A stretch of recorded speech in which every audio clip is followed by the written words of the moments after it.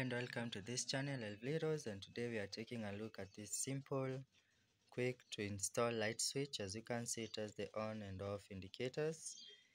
And I've already opened it up. I've unscrewed the screws behind it. As you can see it's made in China. These are the screws. And it is a 240 volt 3 ampere switch.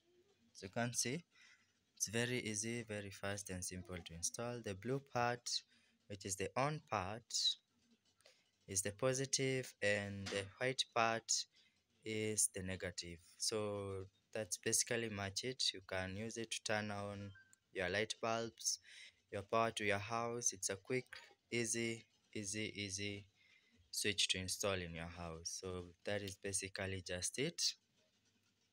As you can see Thank you so much for watching and subscribe to the channel.